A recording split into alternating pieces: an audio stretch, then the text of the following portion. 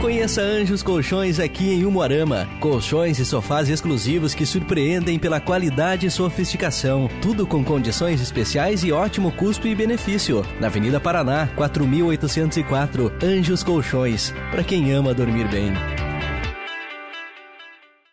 Uma equipe de policiais militares de Umuarama, após um trabalho preventivo realizado no conjunto habitacional Sonho Meu, se deslocavam para continuar este trabalho em outro bairro da cidade, quando suspeitaram de um veículo Vectra e um caminhão que, de maneira repentina, acessaram o bairro Irani.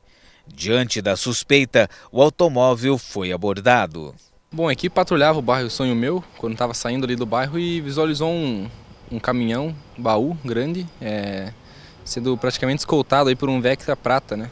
A equipe achou estranho ele ter entrado aí no, no bairro vizinho e real, tentou realizar a abordagem ao, ao caminhão, porém só o, o Vectra prata aí que parou de imediato. Foi então pedido apoio para uma outra equipe da, da Polícia Militar e quando a outra equipe compareceu ao local foi feita a abordagem desse caminhão na, na porta lá de um, de um barracão, né, de uma garagem no, no bairro ali. O indivíduo logo de cara já se mostrou muito nervoso, andando de um lado para o outro, começou a, a gaguejar, dar informação diver, é, diferente né, da que o, o pessoal do Vecta Prata tinha dado. É, a princípio ele falou que estaria vindo de Paranaguá, carregando carne, e depois que a equipe abordou os outros dois é, condutores do, do Vectra, ele falou que estaria carregando cigarro aí da cidade de São Paulo. Foi feita essa abordagem, foi perguntado a ele por que, que ele ainda não teria entrado dentro do, do barracão, já que a equipe anterior né, teria abordado só o Vector, né, ele ficou ali uns 10, 15 minutos para poder entrar no, no barracão até a chegada da, do apoio. Foi perguntado isso, ele realmente ficou muito nervoso e confessou que, que carregava cigarro do, do Paraguai, que transportava esse cigarro de Toledo até São Paulo. No veículo, nada de ilícito foi encontrado, nem tampouco com os dois ocupantes.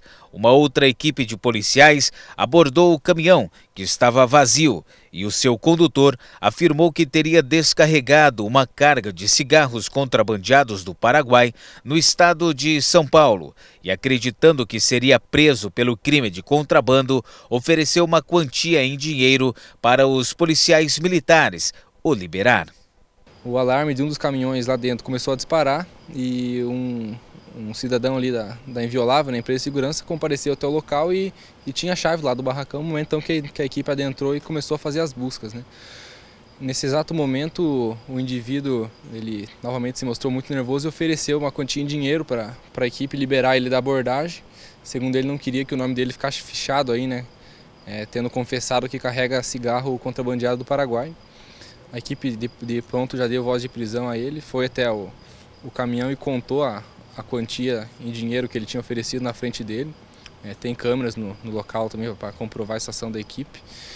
É, foi contado então R$ 4.720 que ele, que ele ofereceu à equipe. Feitas as buscas lá no, no barracão, e o proprietário já, já comparecendo lá ao, ao local, auxiliou a, a equipe, é, auxiliou muito, deixou olhar todos os, os caminhões que estavam lá todos vazios, sem nenhum outro ilícito.